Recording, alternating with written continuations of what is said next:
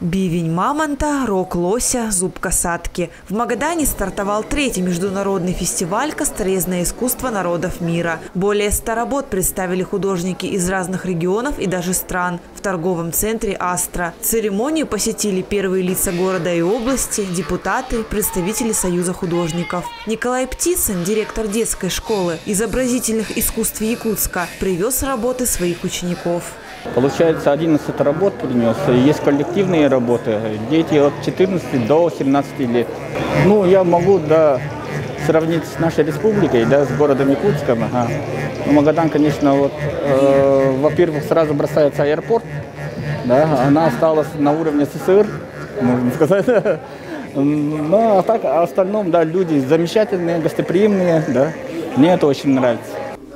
Каждый мастер работает по своей уникальной технике. Сам решает, что станет лейтмотивом его работы. Несмотря на все сложности, связанные с коронавирусом и визами, участники проделали большой путь, чтобы представить свои работы на фестивале. По словам организаторов выставки, фестиваль Косторезов – важное событие. Благодаря ему сохраняют и развивают это ремесло.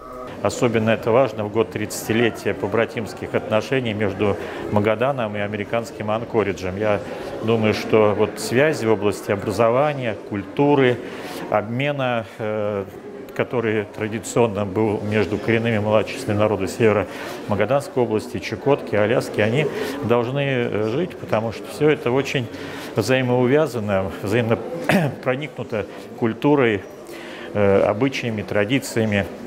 Э, но то, что сегодня здесь и Санкт-Петербург, и Якутск, и много-много городов, и вообще вот первый этаж э, торгово-выставочного центра э, «Астра», они молодцы, что предоставляют, во-первых, помещение, оно современное, оно стильное, здесь хочется посмотреть каждую работу, пропустить ее через себя, потому что каждый художник хотел пропустить какой-то жизненный момент, который у него ближе всего вот здесь в сердечке остается. Косторезы из-за границы приехали не только для того, чтобы показать свои работы. Одна из главных целей фестиваля – обмен опытом между художниками. По словам участников, освоить новые приемы и техники косторезного искусства хотят все мастера. Кроме того, гостям интересно окунуться в быт и культуру самого Магадана и Колымы. Well, I've never been out of country before, and this is my first time here. And um, you know, I'm a self-taught artist.